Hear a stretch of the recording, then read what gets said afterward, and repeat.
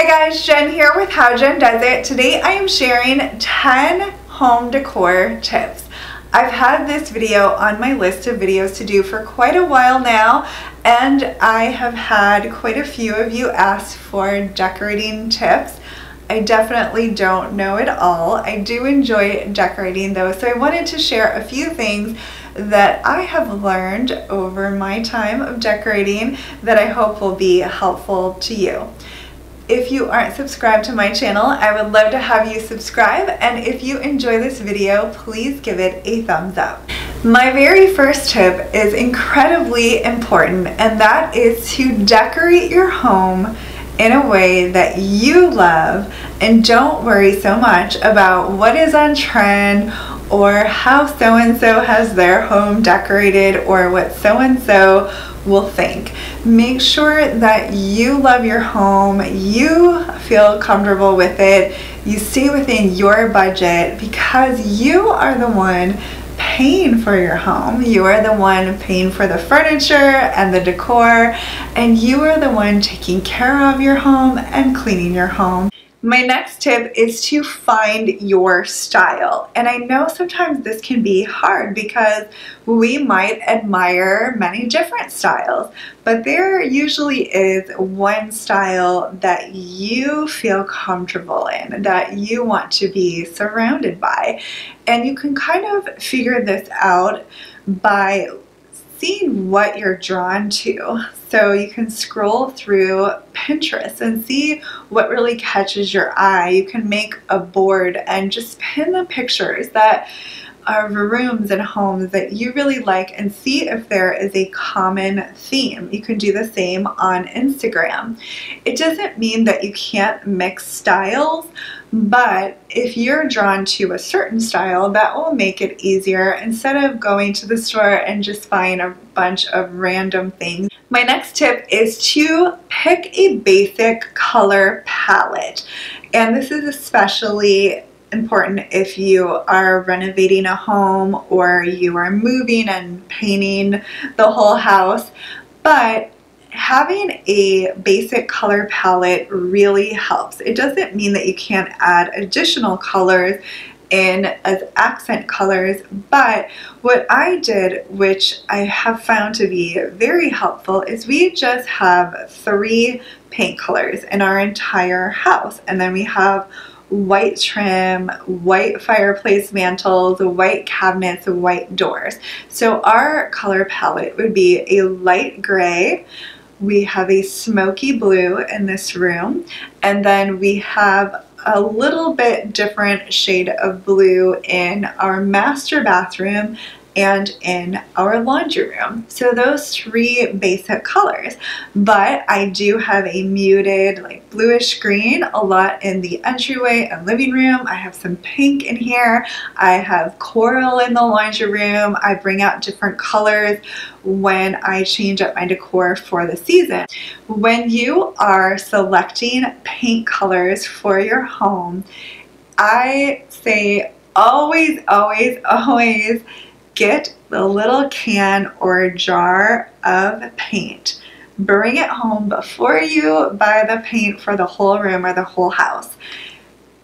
Paint it on your wall, look at it in the daylight, look at it in the evening, because the paint color on the swatches at the store never look the exact same as they do in your home. There are lots of undertones, so grays will often have a blue undertone or a green undertone, and that will come out more or less depending on the lighting in your home. Make sure you let look at it in different light before you buy all of the paint and paint the whole room because there's nothing worse than painting a whole room and then realizing you really don't like that color. Another great tip is to look for an inspiration piece for your room. So in a bedroom, if you're not quite sure what you want to go with, look for an inspiration piece. It could be some drapes, it could be a comforter, it could be a throw pillow with different colors and then you can select a color in there for your wall color,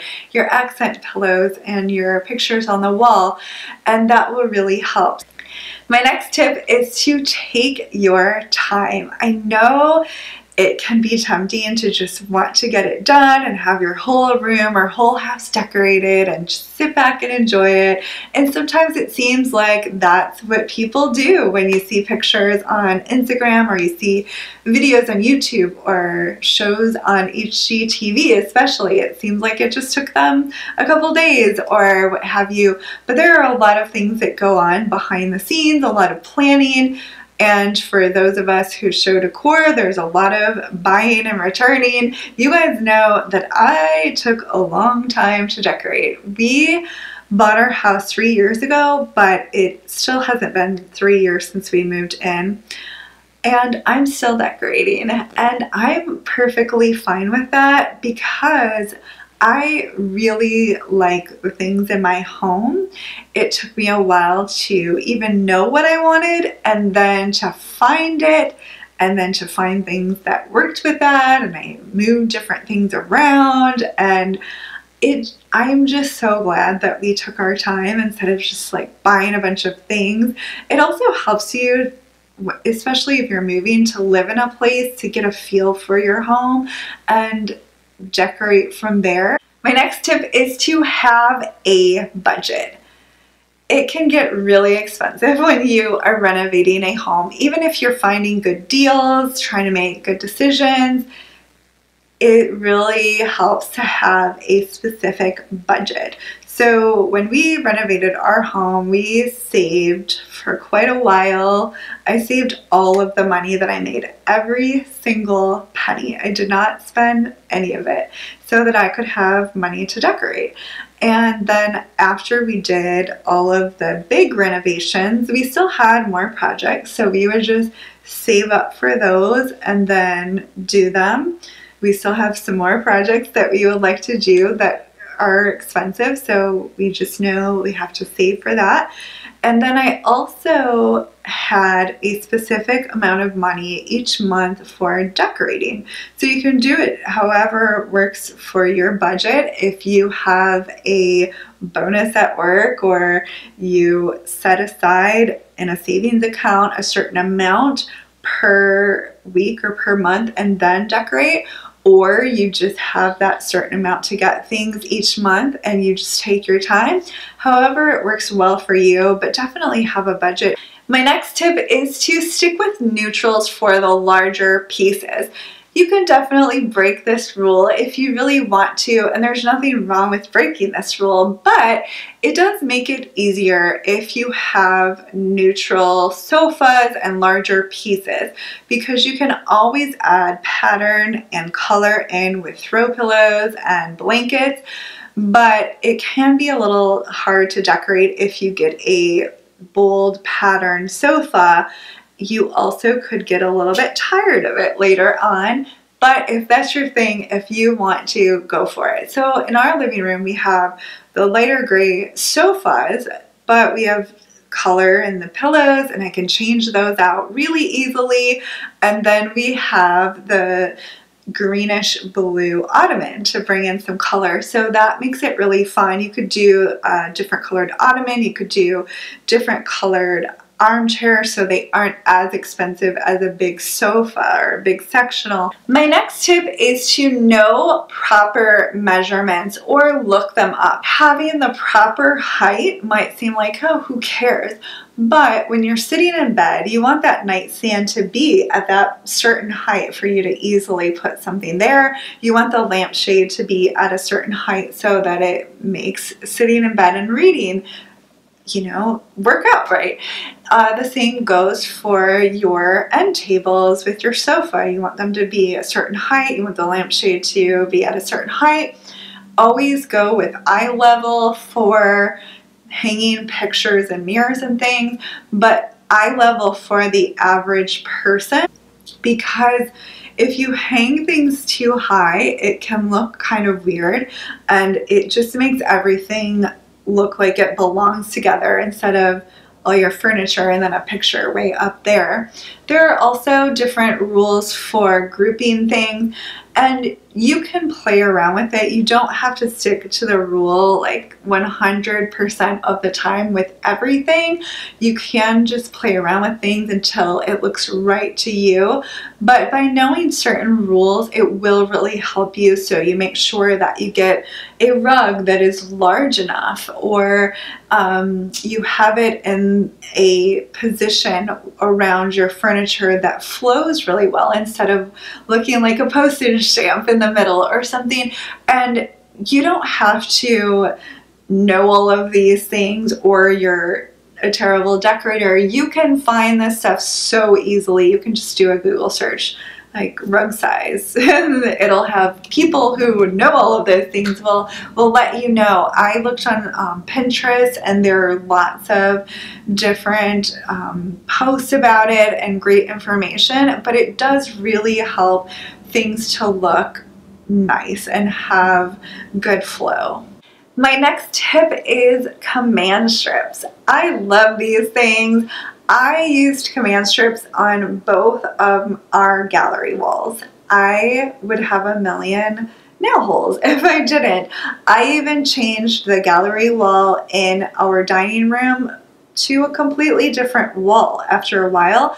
And then I looked at it and I was like, I need to put these pictures just a little bit further apart. and so I changed it all again.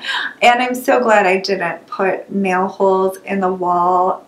I'm so glad. And then I have tons of pictures on the gallery wall near our stairs and again, I use command strip. There are no nail holes at all on the entire thing because I know I'll eventually want to put different pictures, which might mean different size frames.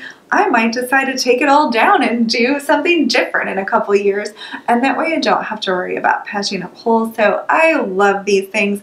But even if you aren't doing a gallery wall and just want to hang a picture, unless it's extremely heavy like a mirror, they work so well, but they do have the weight uh, that they're able to hold on the package. So I really like those.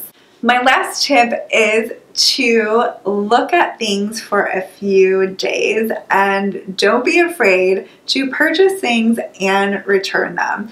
So sometimes you just aren't going to know until you get it. And there have been so many things that I purchased because I just could not tell in the store if it was going to look right with my table or with my other decor. And some things I bought and I loved it in my space and some things were absolute no's and I just returned it. Sometimes I buy things and I will start, you know, decorating the table or the shelf or the mantle or whatever and I just can't quite get it right step away, look at it an hour or so later, or even the next day, play around with it again until you get it right. And just don't be afraid to play around with things. Don't be afraid to purchase things and definitely return things if they aren't working for you. Know that every person that decorates, I'm pretty sure, has to do a whole lot of buying and returning before they get it the way that they want. So those are all of the tips that I have for you. I hope that you enjoyed this video and found it helpful. And if you aren't subscribed to my channel, be sure to subscribe. And if you enjoyed this video, be sure to give it a thumbs up. Thanks so much for watching, guys.